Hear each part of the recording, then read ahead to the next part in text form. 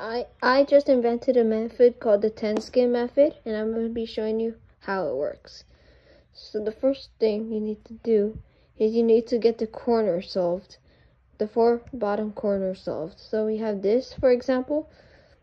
Mm, the best corners I could work with would probably be this orange corners.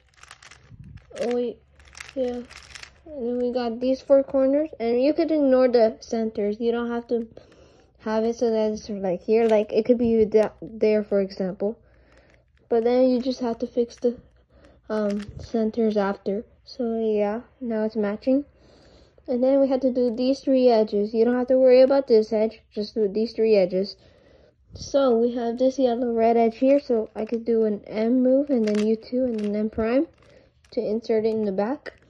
And then here we have the yellow green. I could do an S and then do that. And then we have this one. For this type of cases, we could, um, oh wait, that's yellow orange and that goes here. Never mind. Oh, for this case, I would just take it out and then move it back in. But as, it, but let's say this needed to go here, for example. I would just do this and then do that and then move it back. But that doesn't need to go there. I was just showing an example.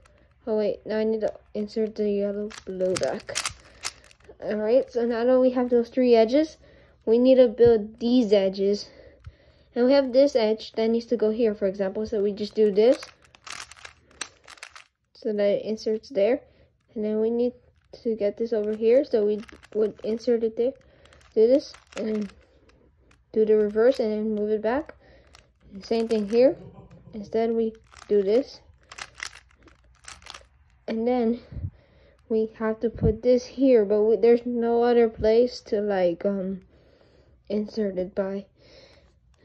So we do this algorithm.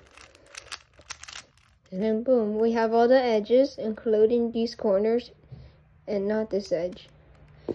So now you have to view these as a as a as an order case you would get in CFOP for example. So here I would do this and we got this yellow edge flipped, so we did not get the bad case. I'll show you the bad case later, but let's just focus on this now.